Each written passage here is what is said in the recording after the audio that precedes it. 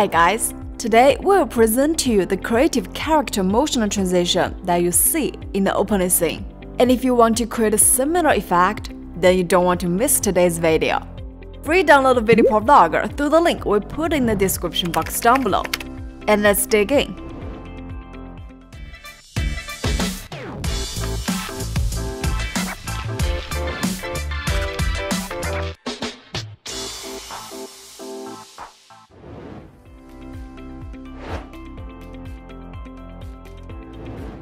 Launch a software. Create a new project. Import the videos of the characters we prepared. Then drag them together into the video track. Let's do some basic editing first. You can use the split tool to edit the clip. Or you can just drag and drop the clips with the mouse.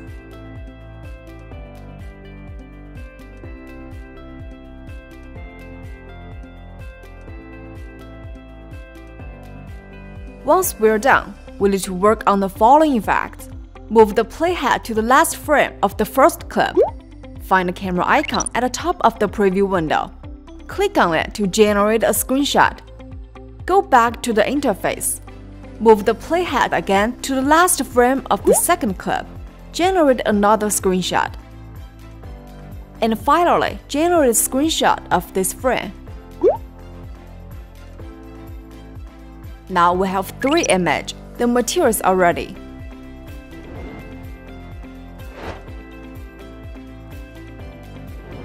Let's go to this website.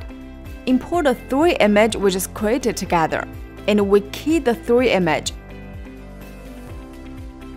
Then import the keyed image into Video Vlogger. Find this icon. Click on it to add more overlay tracks.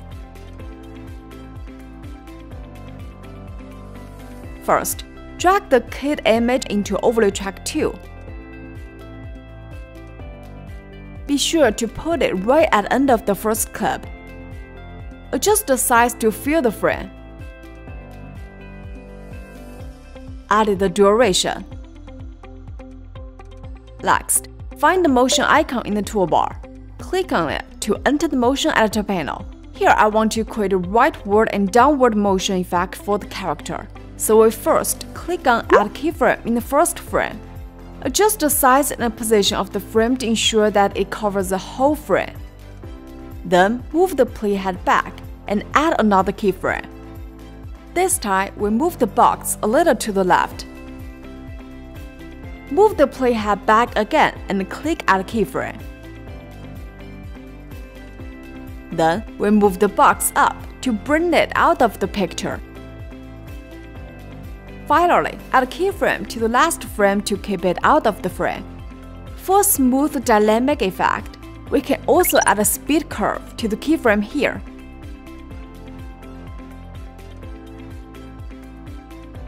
Here is a preview. That's not bad. Click Apply to apply the adjustment. Now use the shortcut Ctrl C to copy it again paste it on the overlay track 1 and overlay track in turn. Adjust position to make them appear in order.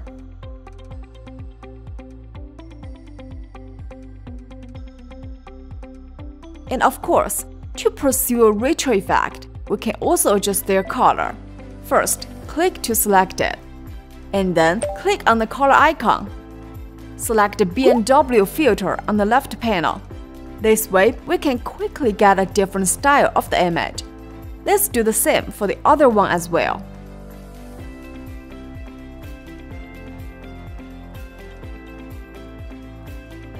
Now you can have this effect.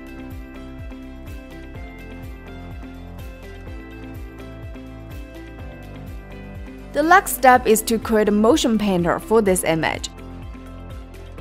I will select the Zoom Rotate preset directly here. Adjust the timing of the keyframes. And then adjust the keyframe parameters.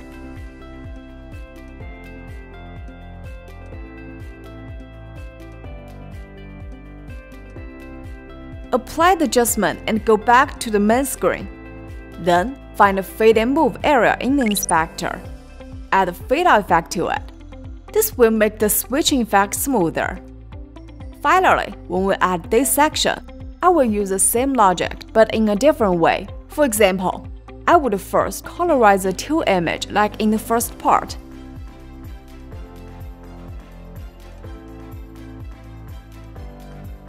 And then, instead of adding motion to them, I would just change the position to create a different image.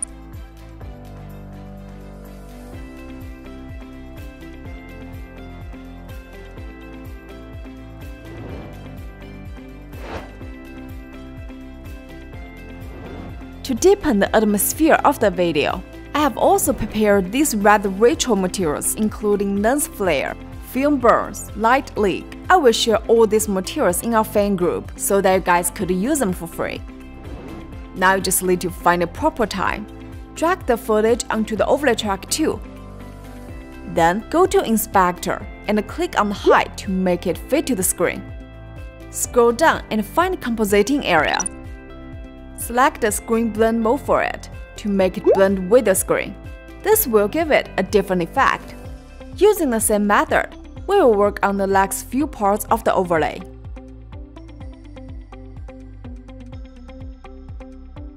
In addition, it is also essential to have a background music in your video. Drag it into the audio track. Adjust the duration to align with the frame.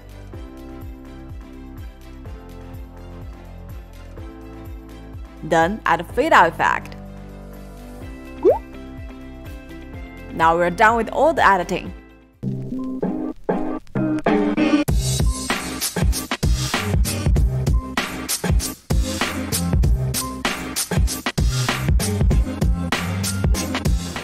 Alright, this is all for today's video.